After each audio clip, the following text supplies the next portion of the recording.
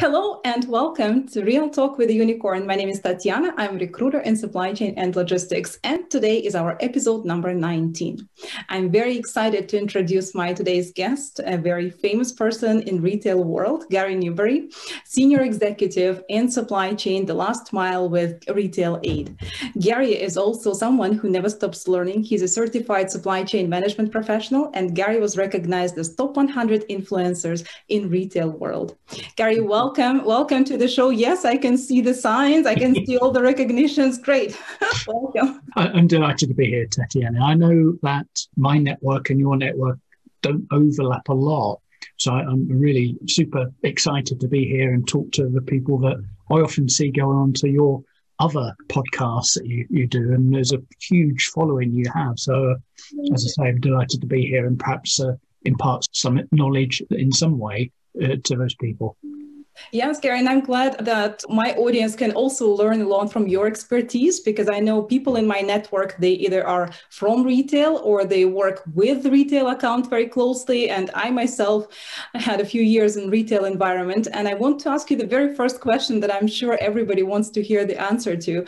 Automatic replenishment systems, they oftentimes cause a lot of pain on both retail side and uh, vendor side. In fact, CPFR role was created to leverage manage that uh, stress. And of course, we see shortages, overstock, obsolete inventory, transfers in between stores, and the list can go on, et cetera, et cetera. What are your thoughts around automatic replenishment systems? What do you suggest to your clients when it comes to dealing with inventory at store level replenishment? Yeah, I'm going to dodge the specific of your last piece of your question about store replenishment in detail I'm going to go over here slightly and, and just talk more broadly about auto replens, and maybe we can dive back into that once once I've gone through that. But I've worked with clients in the past who have placed enormous store on auto replens, and the fact that I've been invited to come along and help them suggests that the auto replen didn't actually work very well. And the, the truth of the matter is they tend not to work very well. Uh, and there are four or five steps that people have to go through, and often there's such enthusiasm to switch the thing on because it's maybe a configurable element of an ERP system or production planning system or retail planning system. Oh, replan system. Oh, yeah, turn that on and see what happens. Mm-hmm. And that's the worst possible situation. And, and worse than that is we turn it on excitedly and we, we go and do something else and the business reaps the benefits or chaos that, that arises from that. But the third thing that I would do in setting up an auto replen, a replenishment system which is automated, and we have to perhaps get our terminologies correctly on this, is the first one is that I would try and work out what types of behavior each item within the inventory profile has. And that may end up with 9, 10, 20 groups, whatever it might be, and try and crush it down to about nine or 10, which is probably manageable. So you'd have things that must be always on the shelf, or these things don't appear very often, you know, strangers and the repeaters and all that. But we can give them labels to make them a bit more consumable by people outside the analysis. Mm-hmm. Once we have those classifications, we need to define very clearly what the inventory policies are for those types of behaviors. So often we might look at a product group and say, oh, they're all apparel or you know women's skirts or whatever it might be. Oh they must all behave like this. So let's get on with it. Switch on that machine. Let's go. When actually we may find within even something which looks like they should be similar because they're all the physicality of them is they're very similar but the behavior is very different so we need to define specific inventory management policies for each of those labels. Forget about the actual products themselves and just go for the labels. So we may have things like uh, very unsophisticated tools and techniques like min-max systems, and two bin systems, or reorder point systems, right through to double exponential smoothing and, and anything in between, which kind of helps you to be able to go back in history and say, if we applied this policy, this would encourage this type of behavior. Once we've got those things sorted out, we need to define algorithms that will deal with unusual demands. So it's easy to do with ordinary demand because that's implicit in both the behaviors and and also the inventory management policies that you're going to apply to these items. But we want to have algorithms to deal with the unusual things, like say in retail, we run a particularly odd promotion. We may have ratio pack, may have a whole range of different things, or maybe a, an event which does cause a spike in one particular item or group of items. Mm-hmm. The fourth thing is to actually collaborate with our suppliers, to actually share this information with our suppliers. This is how we're moving forward. This is how we classify these items of the whole assortment you give us. And these are the policies we're going to apply to those. So you know, there may be a, a, discussion about, oh, maybe if we work with you on this basis from a supplier, maybe we can give you hundreds rather than 20s or something like that. So you have to work with the supplier in detail to build a trust. Because if you turn this machine on and you haven't told them, you will start to see what would be the bullwhip effect in in manifest itself pretty quickly. The charges charges can apply to those short shipments that supplier was not prepared for. That's yeah, yeah, because it catches them on the hop.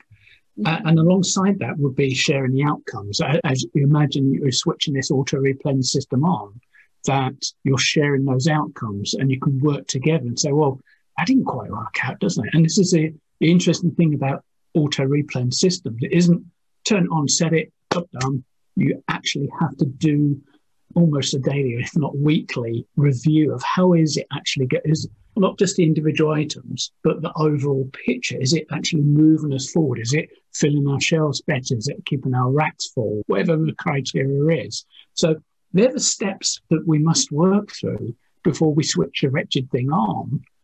Mm. But as I say, there's an awful temptation when somebody discovers we've got auto replen, they might do some initial analysis but in the rush to sort of like, hey, look, turn it on and off we go, and we're into a often a whole world of hurt. I, I went to a book wholesaler who had bought something like 32,000 SKUs, all, all with hugely different uh, mm. profiles in terms of their inventory behavior. And they put a lot of store by auto replen, but the reason why I had been invited that somehow we weren't given the service in our independent bookstores very well. I don't know what the reason behind this is. Well, try looking at the auto replen, turn that off and see what happens next. And guess what we did? And suddenly things started to improve pretty quickly. The auto replen can actually handcuff a business to a certain way of thinking, which is no longer relevant. Mm-hmm. So unless you do all that hard work, work through that process, I think anybody who's got a, an auto replen system that's switched on and isn't delivering, you need to almost switch it off and go back to basics and, and really start to understand those five steps, which is define the inventory in terms of classifications, work out the policies you're going to apply, define the algorithm for what happens when something out of the ordinary happens, an increase in demand, a, a change in mix, whatever it might be, to work with the suppliers and then to monitor this, like insidiously monitor it like crazy person to make sure it is actually delivering the benefits of what it should do. On, in theory, why wouldn't we do it auto replays? It takes out so much clutter. It yeah. takes out all that. Well, what should we do today? Oh, let's let's order five. Let's take all that out and just focus on the exceptions rather than the big firefighter go, oh, I'm getting behind, or make that 10, get on with it, kind of thing. So the auto replen is a great thing if it's properly conceived and worked through and everybody supports and we do those five steps. That's amazing. It also uh, indicates the need for uh, supply chain professionals who work in retail continue learning new things, continue learning those um, fundamentals behind the replenishment logic to understand because categorizing inventory, those are the things that uh, for some people are not that obvious. So definitely, uh, the more complex our systems are, it means we need to invest in our development as well to maintain relationship with those systems and make sure they don't run us and we actually have little bit control over them. I give an, for instance, with, with, a company that we both probably know that I recently worked with, they uh, deployed uh, E3. It doesn't matter what it's called. I think it was JD, it might be JBA or something like that. Uh, but it was their their category management system. And what had happened over a period of time, I, I don't think I'm talking out of term, is they had effectively an auto replen system mm-hmm. in, in a fashion, but they made so many manual interventions, oh. it warranted them carrying on making manual interventions. So when we onboarded a big new retail client, all faith was placed in, oh, this will correct the forecasting errors that the client was actually making and forcing us to bring in loads of stock into a warehouse that was not big enough to contain their wishes and aspirations. And they said, Gary, just wait six to eight weeks. E3 will sort it all out. Said, it won't. because I'm at, on a different project, I actually mapped the processes and it was wow. these people going, oh, let's make it happen. The system was brilliant, but because so many people manually intervened, mm-hmm. it required everybody to manually intervene from there onwards to correct the errors of the previous interventions. So if you're going to have a system, do the hard work, get it up, make it work, press a button, turn it on, whatever it is, and monitor it. But don't go in and intervene on individuals. Say, this algorithm is wrong. We need to fix the algorithm. Go back to source, fix the algorithm, and monitor like crazy. Do not manually intervene. Mm-hmm. Yes, exactly. That's very important, Gary. I see how you are passionate about retail, and uh, recently it's the last mile also that kicked in during COVID, especially. What other industries are you interested in? And because you have years of experience, what other industries you impacted with your expertise and improved? Yeah, it's a great question because uh, if I actually said how many years I've been working, it would be probably. Uh, people would say, "Are you really?"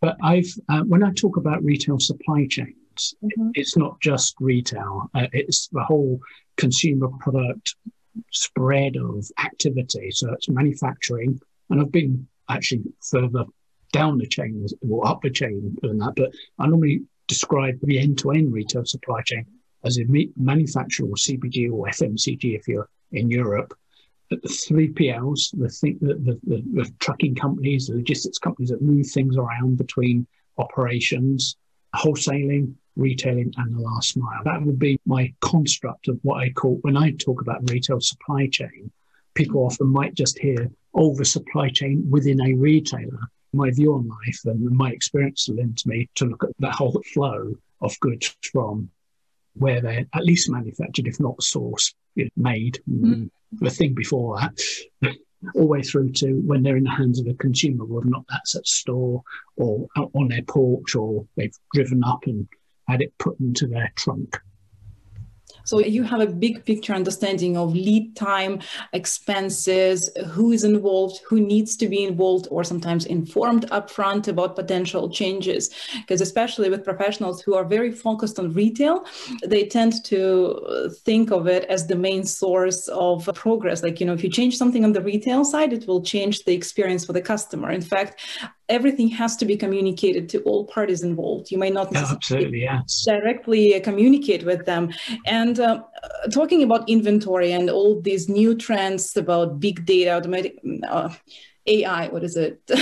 well, to step back into your previous question, because yes. uh, just, just uh-huh. to, besides the industry I have been involved in, just to put some context on that, I, have been around for more than 30 years in the retail supply chain, end to end or extended retail supply chains. I've seen a number of big changes happen along the way there. I was involved going back a number of years. I was involved in the last major outsourcing in the 80s of a specialty retailer, which was Storehouse, of its logistics to a third party, albeit that had a lot of third parties involved in the first place. To, and that was outsourced to Exel Logistics or NFC as it was back then.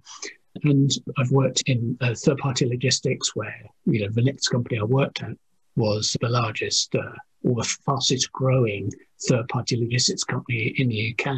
So it grew tenfold in three years.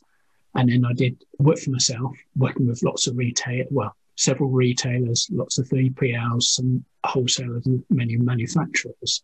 I worked in something like 40 different organizations doing 60 mission critical uh, assignments often as either a management consultant and being brought in for, as an expert just to kind of understand what was going on and write a report and often helping them down that path or initially as a CFO but uh, then uh, interim chief supply chain officer or interim CEO, chief executive officer, to bring about big change fast. Mm-hmm. So this is a great time for me because we're all going through disruption. But I think there's still some stuff to go through before people realize we have to change our yeah. business model. We have to change. And that's important to have people who have that appreciation of not just this industry, lots of it, but that whole, that whole interaction of that flow of goods from where it's basically made all the way through to, as I say, porches or, or shop shelves. Yeah, that's true. And Gary, to like right now, it's also the era of data. Retail has access to different consumer patterns, purchasing patterns. We get suggested things to buy. Like everything is about data right now. And I'm wondering, is this data helping business improvement processes? What are your thoughts around artificial intelligence, data accessibility? Yeah. Do they use it? I think data's a, a mid organizational construct. You'll find lots of people, analysts and staff, you know, even heads of marketing might even get remotely interested in data. But, but people in the middle of organization pour over data. They, they cry for more data. They, they want to put things together to come up with very uh, mm-hmm. useful insights. And people below them, the workers, they just assume that people have got data and they're improving things, but the people above them have less data literacy. They have, like, maybe they have the big picture, or maybe they don't, but they like to talk about AI. And it, the AI plays to this idea that the higher up the organizations you go, the more concepts you, you're expected to understand. And I think that AI is, is a concept which carries a lot of, I would say, kudos oh, we've got AI going on. But the reality is, when we get the box and we open it up and we got a disk with that state and put it in, oh, we've got to fix our data. Let me tell me that. They gave me the great demo and it looked brilliant. All these great things. We can get these meaningful insights. And I don't know how we're going to do that around here. Oh, just tell people we're doing AI, we'll be fine. so the, the issue for me is AI absolutely has a position in business. The difficulty I have with this is data seems to be the domain of middles of organizations. Mm-hmm. It doesn't normally permeate the top, the echelons, the top echelons of organizations in a way that we might actually expect it to do, because surely if we have data, we can be better informed, we can make better decisions, we can grow our, our bottom lines and all that kind of stuff. But if there's data literacy at a, a, senior level, there'd be an aversion towards anything coming up, saying that actually what you've been doing is for the last 20 years is a little bit defunct. We need to think this way. There's a huge, I think there's still a huge resistance uh, of onboarding that, that kind of messaging. Yes, because there may be unexpected um, expenses, the bottom line. So it, I know it's all about saving money, but at the same time, when you implement something new and you try new things, you may also consider investing. And for those middle management, I find as a recruiter also is in supply chain, if you are able to work with data, you also should be able to interpret that data and present a story, present it in a sellable way to upper management in their language, in the language of profit yeah. and future um, market share. So definitely uh, that's a pressure on middle management as well to promote. So if we think about the supply chain, it's, we're full of data. How many did we pick? What what parts you know, did we pick? There's so much data in the supply chain world, and we can absorb ourselves. We back in the day, people used to do their own spreadsheets and pour data into them and come up with things. The reason why I, I, I sort of hold this view that it's a middle mid organizational thing that people in that level are obsessed with data. If they can just have a bit more, we would crack the code. But if you imagine where supply chain sits within, you know, if you look at an average retailer, it's still merchandise and stores and maybe digital over here somewhere. There's mm-hmm. like the bastions of what we do around here. And then supply chain is normally fragmented into tiny little silos. And as long as it's working, nobody bothers about it. It's when it goes wrong, like the port's impact on the west coast, you know, the Suez Canal, you know, the, the whole shelf shortages, or things that are visible. Oh, supply chain's not working. Where's our supply? We shout down from the the C-suite to somebody in the operation. What are you doing with our supply chain down there? Not with the supply chain person persons actually on the C-suite saying, we've got this covered off, Gov. We have issues, we have obstacles, but we've got it covered. We, we've found a way through this. Because supply chain is quite data intensive and they're not sitting always at the top table, I think that we're, we're going to continue with big data and data crunching, data anal- analytics, predictive uh, analysis is all going to be still stuck in the middle. Mm-hmm, mm-hmm. Gary, everything that you are sharing seems to be very in, seems to be very intense in terms of change management, communication, and influencing people that may not formally report to you. You may be just an outside executive who wants to improve the business. Can you share maybe one or two? I'm sure you have dozens, if not hundreds, of those projects that you manage. Something that you are specifically proud of, or maybe something that can illustrate the complex of those skills that you possess. Can you share with um, us? I, when I came to Canada, I uh, started talking to everybody about last mile. Mm-hmm. Uh, I'm sure I, I, must have seemed like some kind of heretic because about 50% of the people that I spoke to said that I never catch on around here.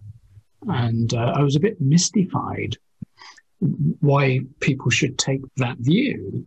Mm-hmm. But anyway, the thing, like obviously, with the pandemic and people are confined to homes, it's become a glowing reality. But what he did with an organization which was the largest white glove, I mean, it was the last mile, but it was white glove. So it was taking deliveries across a threshold into people's homes. Uh, we were doing between seven and a half and eight and a half thousand of these deliveries every day. So uh, there's no scale of that in Canada uh, and, and, you'd have to go to the US to even get a sense of that scale. A, a couple of companies that back in the day, it was I think Pensi Direct and Home Direct had about ten thousand deliveries across the thresholds uh, mm-hmm. every day, so it was large. I, I ran an organisation of a thousand people. I was put in as an interim CO. Wow. It was unionised, a thousand people, 300 groups daily, broadly, because that would shuffle around a bit. And when I arrived, the uh, I mean, the starting figure is way above what we achieve in Canada. I inherited a, a very poor performance at 25, 26 calls per vehicle, so stops per vehicle. And uh, in six months, I've moved up to 40. So you can imagine a, a, the equivalent here is a, like a 20, probably 24, 26 footer, but a seven and a half ton truck mm-hmm. with 40 deliveries people, there's normally a, two person crew jumping out, mm-hmm. getting the stuff over the threshold into a room of choice. So it could be a telly, it could be a television, sorry, a chest of drawers, and maybe a, a small fridge. That would be a delivery. So the average was 2.1 items per delivery. So moving that from 25 to 40 and also moving the service level from 80% in 10 days. So we would receive most of the, the deliveries were from Littlewoods, which is a sort of broadly had a history in mail order, but it opened up a series of stores. We, we did all of Amazon.co.uk, heavy, what we call heavy and uglies, Debenhams, House of Fraser, and a whole range of digital native brands. So they would come to us and we would ship about two and a half million deliveries a year. And they would come to us and go, We've got 5,000 beds. Honestly, we used to lose their stuff. When I came came to the organisation, most of the management team um, then was just preoccupied by these small, relatively insignificant customers, which I had to clear out pretty quickly because we had to do a good job for Amazon, Littlewoods, House of Fraser, Debenhams, Marks and Spencers, Tesco's. Mm-hmm. Those were our prime bread and butter, so I had to do that. But one of the things that I became aware of pretty quickly was our approach to routing. Routes were we would get the, the orders in, we had 28 days to deliver the Littlewoods orders, and they would start kind of time window in, the future. I said, well, why wouldn't we deliver here and here? Neighborhoods. We're already there. Move a truck 100 yards. Mm-hmm. So I had to change some of the parameters within our routing suite as such to, so that people could say, I know what we would normally do, you know, count, say, 10 days and then deliver.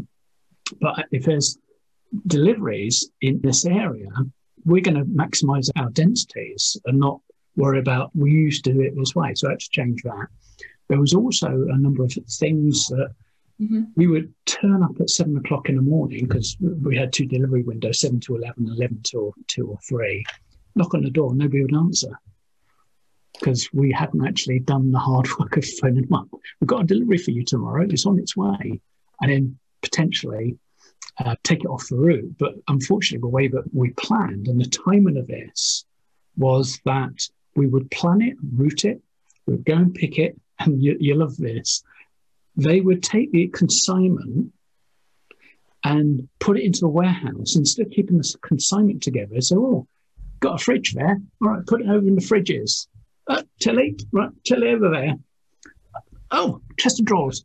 Chest of drawers goes over there. This is, we're talking about a 250,000 square foot warehouse, which doesn't sound a lot in Canada, but I can tell you this in the UK, that's a big warehouse.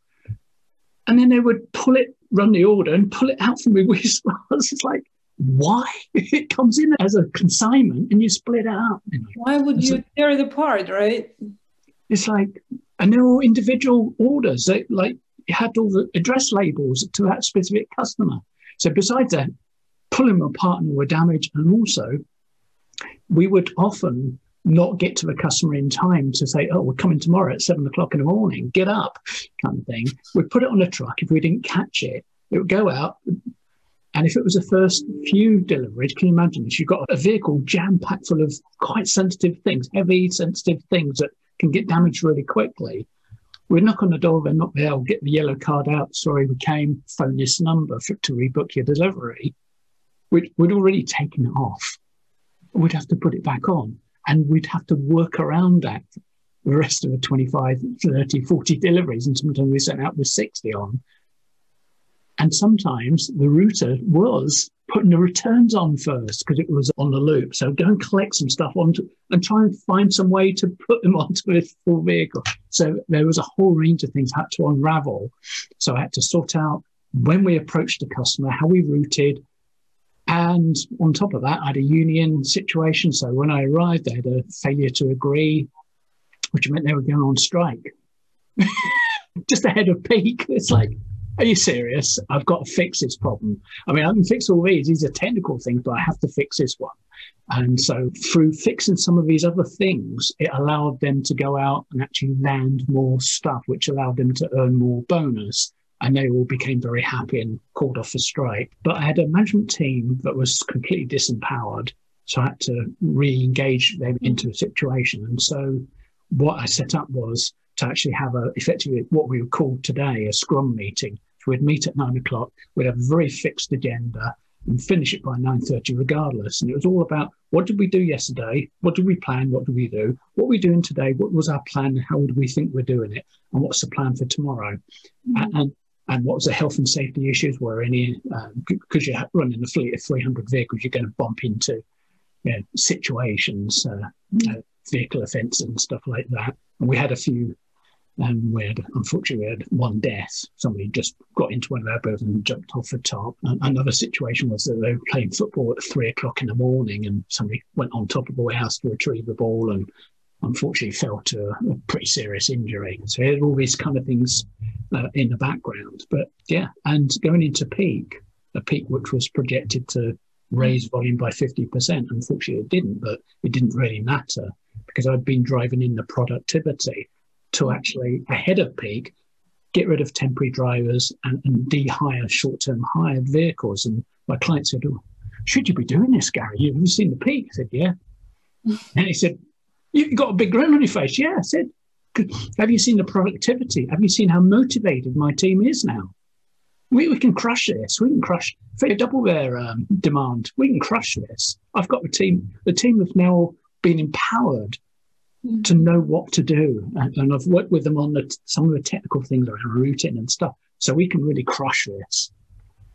That's but very, unfortunately, very motivating. Over, over, like this was just going into a, a credit crunch, the, the, Great Recession.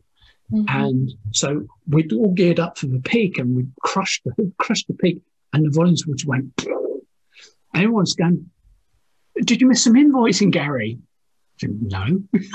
and they were scratching their because I, I, was looking after the two two the heavies and uglies, a two person business. And there was a carrier operation where just delivering to the porch.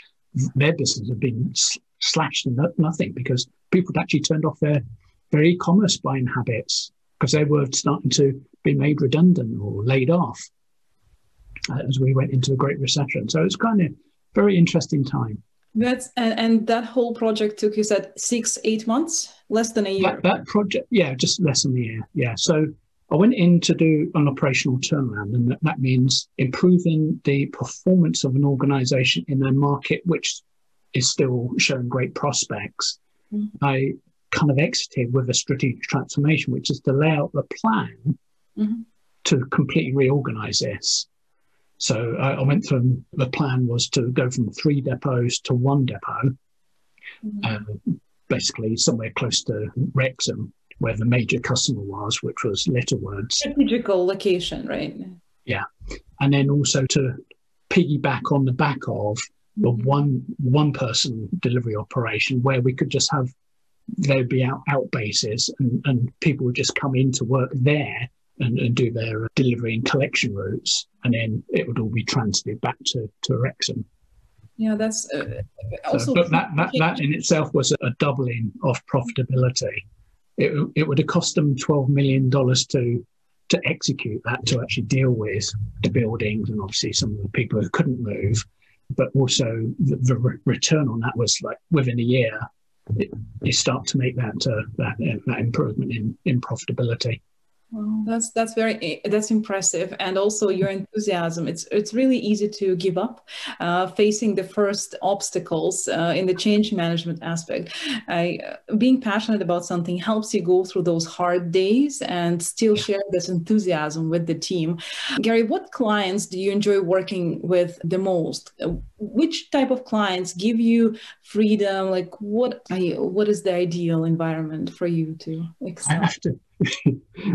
On my on my website, which is going to live soon, my role in life is to inspire business leaders, particularly in the retail or consumer products supply chain, to think big, be bold, scale, adapt, and win. And I, I, don't say that lightly. I mean, it sounds like a great buzz phrase, but I that is my thing, and I, I've I've discovered this more recently that I've worked with many different teams, and I'm quite indifferent about the type teams I'm working with. I'm currently working with a client uh, that, that we both know that is an excellent client. They're delightful to work with. They're entrepreneurial, slightly family business, but I put that to one side because I don't actually behave like that so much. They're quite organized. They're not like, oh, you know, it's my brother and son and all this kind of stuff. They, they really are uh, delightful to work. They're action orientated, they're future focused. They're, they're in a hugely growing business. Their growth has been like 60 to 80% this year. It'll be the same next year. In a very uh, mundane industry. But you wouldn't see it from the enthusiasm they bring to, to, to bear every day. But I'm indifferent about what type of client I work with because I've worked in some incredibly toxic environments but I am always able to move, certainly the team I'm looking after, which would tend to be the supply chain, move them forward because I allow them to express their thoughts about, oh, we tried this three years ago, it, it failed miserably. And I'd say, well, why did it fail miserably? Oh, you know, this happening. I was, well, I'm here to help and make this work. Are you prepared to run down that route again with a little bit of extra support and push? mm-hmm. oh yeah, let's do it. And, and suddenly, when people do the what has been the undoable in the past, mm-hmm. they suddenly build a huge amount of confidence. I just stand back and let them get on with it. yeah.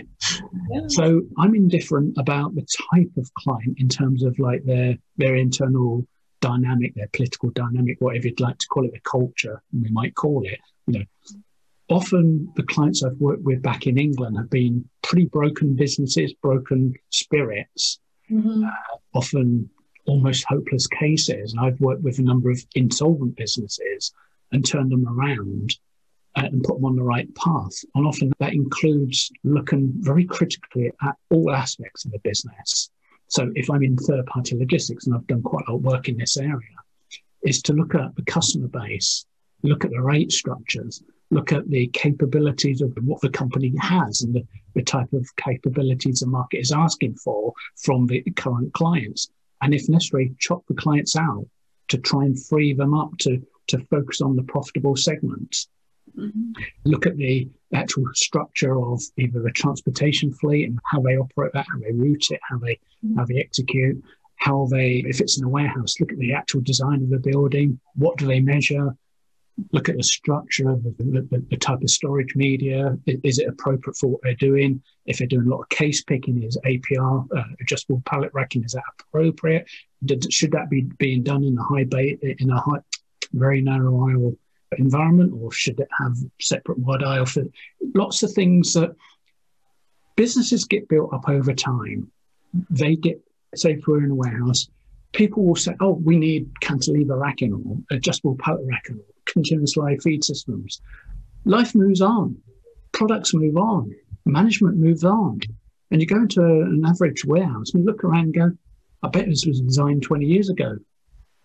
no wonder they're having problems because the things that they need to do now require different levels of capabilities, both in terms of the architecture, how the building's designed and what it's used for, in terms of the processes that they use.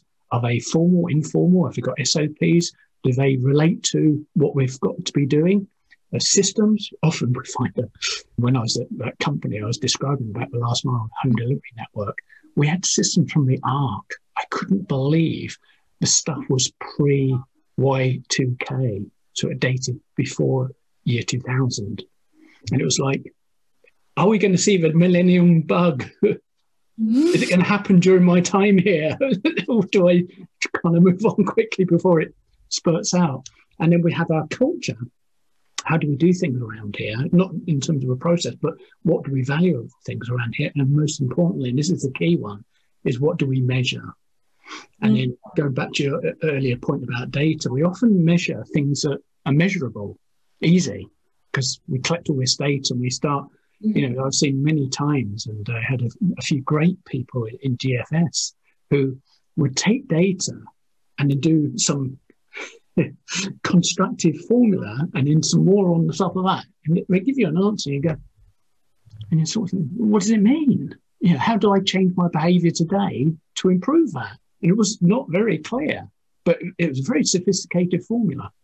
Yeah, a lot of numbers. Those yeah, but it was it was irrelevant to the, the decisions that the businesses need the business needed to make today. But it was very good. And actually, speaking of today, we've been almost in like 15 months of lockdown on and off. What good things in your professional life or in general happened because of COVID? Like, what would you be grateful for if you look back at this 2020, 2021? I see your enthusiasm, Gary. Thank you so much for uh, motivating us. You are uh, the person who motivates me as well. So I learned a lot from you and from your optimism. So, what good things happened? Can you share with us, please? Yeah, whole, there's whole ranges of things that happen during this time, and we can either sit on CP24 and watch the statistics every day and go, oh, this is terrible, and listen to the media messages, which I, I actually did. I skipped a year of TV, basically. I, I had no interest in this because if we understand, have a basic understanding of statistics, we would be questioning the fundamental basis of what we were collecting and, and, and the why, but putting that aside.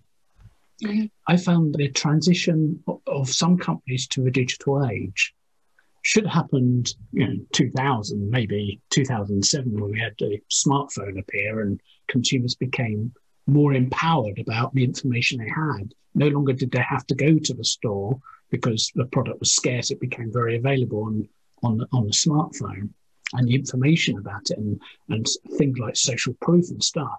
So we lumbered through the next uh, 10, 15 years talking about digital transformation and about the last mile and click and collect and all these things. We've talked about incessant omni-channel. Let's be omni-channel retailers and stuff. Mm-hmm. Let's get let's get to it. it took the pandemic for many retailers to even say, "Oh, did, did somebody say we had to do it now?" well, for many companies, for many retailers, they had to do it now because their revenue went from came off a cliff edge and went to zero. If you're a non-essential retailer, your revenue went to zero. The only way you could get out of this was to have an e-commerce presence which could be executed by a consumer, could take orders, you could process those orders, and you, you could either kill yourself profitability wise by doing it all from the warehouse, or you could use the stock to actually field customers' orders from somewhere where they'd be, they'd be prepared to do at least their last mile. You still have to do the selection, but at least the stock wasn't moving. So this was this was a good thing for retailers to say you have to act and you have to act fast. No longer can you ponder on things and just kind of talk about it for a little while and see how it goes and and you actually, actually had to do. I mean, retailers are great at executing things. They're highly tactical, generally speaking. So this should be, oh, right, now they've learned this, they can learn other things. But what they haven't learned is the extension of their store footprint into the digital age by click and collect and, and mm-hmm. let's call it home delivery. So uh, on all those online services is only one little speck of a full digital transformation. So if they think they've arrived, it's a like headline. You haven't. You just started. You should have started in at least 2007. Maybe the Great Recession might have triggered you to think of this is a good thing to do. So those organisations which were already progressing on their digital transformation will have stood a better chance through this time. Those ones who had to rush at it, the small independents say, would have to jump onto Shopify and just hope that that gave them the uh, the way forward to be able to at least deal with curbside. Mm-hmm. Maybe home delivery might have been still a stretch. Yes, of course. From other points of view, the, the transition of us as individuals from always driving down the 401, whatever it might be, into work, spent wasting an hour and a half getting there, maybe two hours on the way back, actually moving or migrating to working from home with its own challenges and all the let's call it commentary. I don't know if there's too much actual research, but all the commentary has said that we're actually more productive, although we may have had to educate little Tommy and little Jane and stuff like that. But people were very adaptive and they, they learned to perhaps cope with that and, uh, and the transition to online learning probably been a great help to them.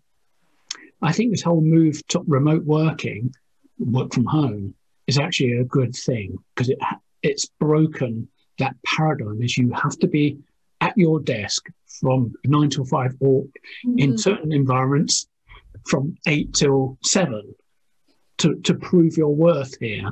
So people uh, became more adaptable to technology. They've had to use real technology as opposed to, uh, how do I do that? Oh, thanks very much. Uh, do a little bit of technology and carry on with the rest of the job, which might be more physical than technology driven.